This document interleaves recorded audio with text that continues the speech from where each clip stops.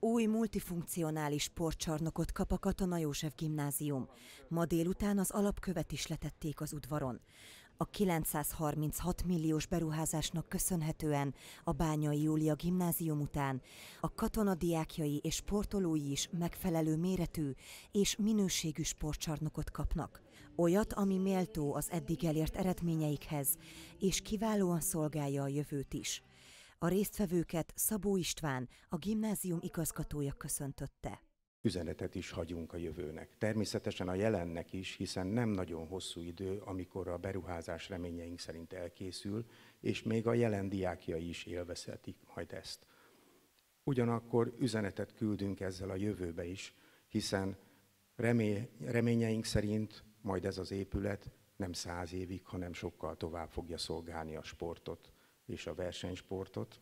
A létesítmény 1750 négyzetméter alapterületű és 25x45 méteres lesz. Méretéből adódóan futszál, kosárlabda, röplabda és kézilabda mérkőzéseket is lehet majd rendezni. A gimnáziumi oktatási óráin kívüli időpontokban pedig a tervek szerint a lakosság és sportszervezetek is kibérelhetik majd a csarnokot.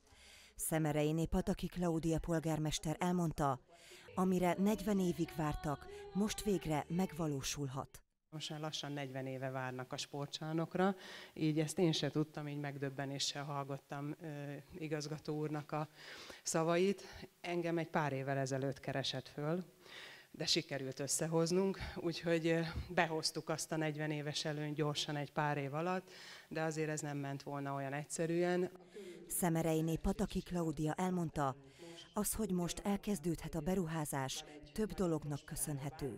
Van egy nagyon prosperáló városunk, egy nagyon jó gazdálkodó szervezetekkel, vállalatokkal, akik a nyerességüknek a megfelelő hányadát nem a központi költségvetésbe utalták, hanem ideadták. Helybe hasznosuljon ez, és ebből tudunk sportcsarnokot építeni. A megfelelő költségvetési támogatást biztosítottuk hozzá. A fejlesztés megvalósulásában nagy szerepe van a társasági adónak is, ebben pedig a Magyar Labdarúgó Szövetségek és a Szkorgol Szabadidősport Kft. állt a város és a beruházás mellé.